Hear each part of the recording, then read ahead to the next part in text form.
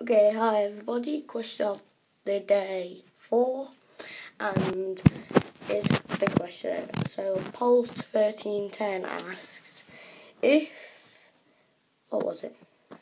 If you had to choose between a girl and an iPhone five, what will it be?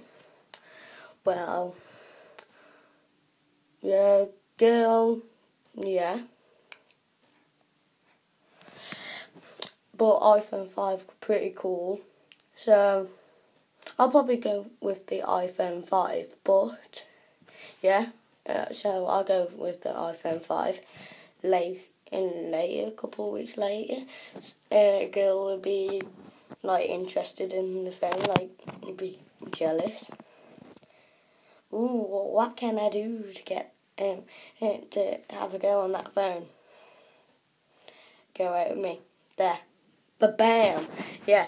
Okay, so that's the answer, and um, you're welcome for me answering that, Port 1310. And if that girl is like mad that she didn't get picked first, what well, car, bitch?